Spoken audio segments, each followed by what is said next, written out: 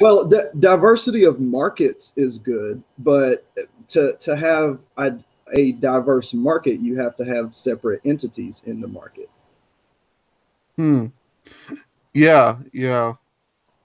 So, so, so to, just to just to kind of because uh, that's that's a really autistic way of putting it. Um, so it if there were if america were to break down and there were to be a white ethno state and a black ethno state within the borders of modern america right then those two states would definitely interact with one another and they would definitely benefit from the transactions between one another.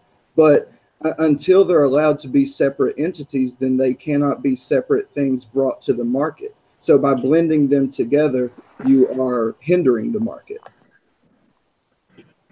Hmm.